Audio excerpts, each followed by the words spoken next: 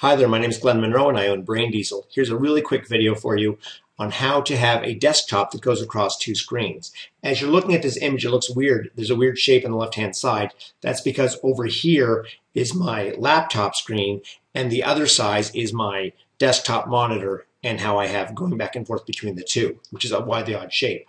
Now, if you want to have one, just go online and find a really large image or do a specific search for dual screen desktop. I like a website called digitalblasphemy.com. It costs like $20 a year and you get great images and I am happy to support the artist there. Um, but all you would do is right click and personalize. And then you're going to go here, go to your desktop background and find an image that works. You need to make sure your picture position, picture position is tiled and then you just find the nice long image you'd like. So if I chose this one here, or this one. Now this one, the image isn't big enough. So this is what tiling does. But if you go to a website like Digital Blasphemy, you might find an image like this, or the one I'm currently using, which is this one right here.